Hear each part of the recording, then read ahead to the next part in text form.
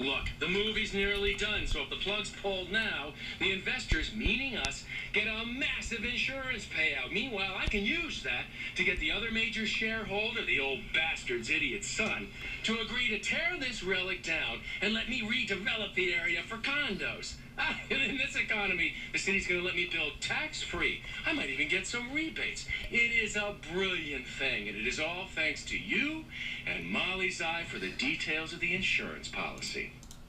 Oh, you have no idea. I mean,